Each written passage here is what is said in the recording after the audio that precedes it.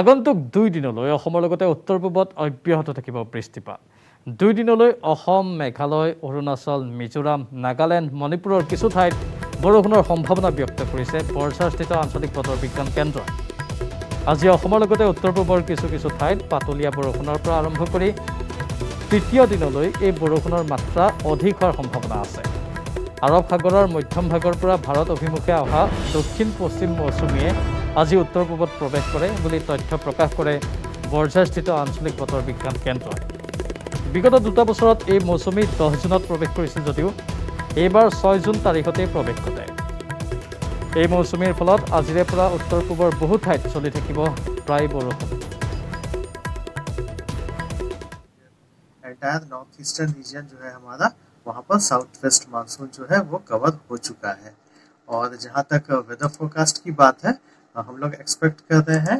कि आगे आने वाले तीन दिनों में जो हमारा जो मेट्रोलॉजिकल सब डिवीज़न है अरुणाचल प्रदेश असम मेघालय नागालैंड मणिपुर मिजोरम और त्रिपुरा में इसमें जो है अधिकांश स्थानों में मध्यम बारिश हो सकती है और जहाँ तक वेदर वार्निंग की बात है thunderstorm with lightning is very likely to occur at isolated places over Arunachal Pradesh Assam, Meghalaya, Nagaland, Manipur, Mizoram and Tripura. Usi tarah heavy rain is uh, also very likely to occur at isolated places over Arunachal Pradesh, Nagaland, Manipur, Mizoram and Tripura, and heavy to very heavy rain is very likely to occur at isolated places over Assam and Meghalaya.